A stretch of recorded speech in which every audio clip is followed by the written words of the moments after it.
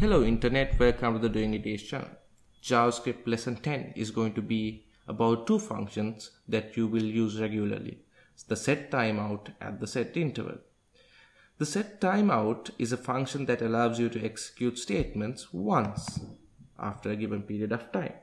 Set interval allows you to execute statements repeatedly after a given period of time.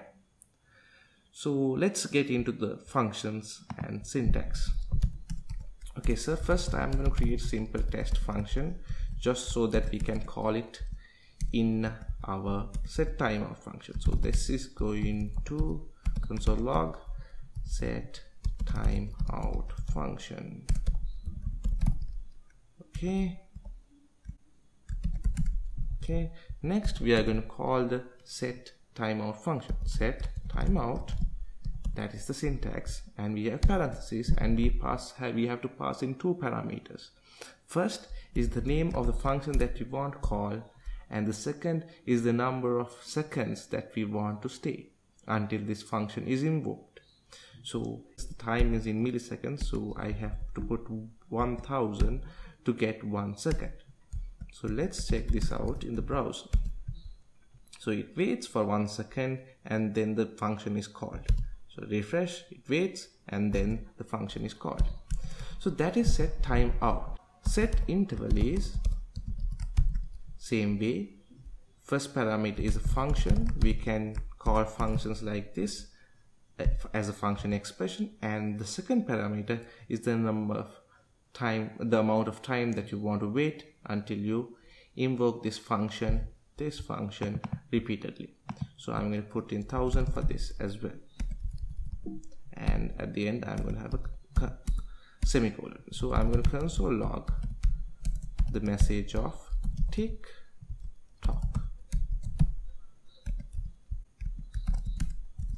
Let's refresh and check that out. So tick tock once two three times four times and it will keep on running until we stop it. So then then comes the question how do we stop this interval?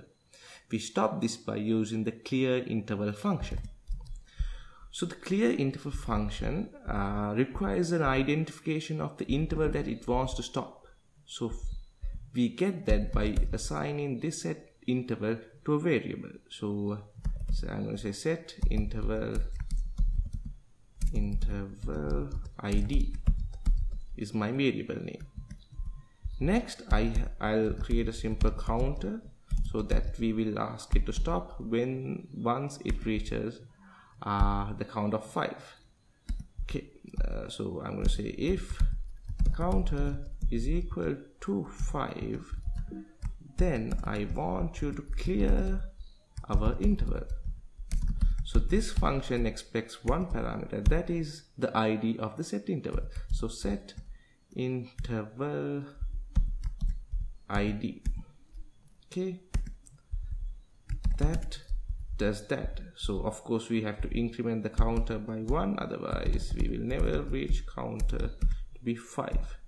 So increment that by one. Okay we save that and let's check.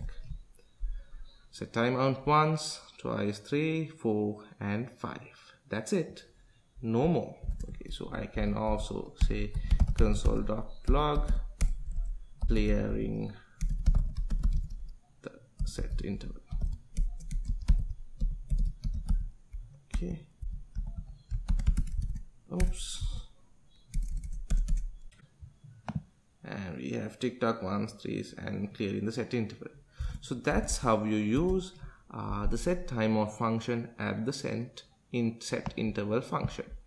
Okay so uh, that's a small lesson on javascript uh, i hope you enjoyed. Do subscribe do like and do share. And let me know what you think about these lessons. Thank you very much. Bye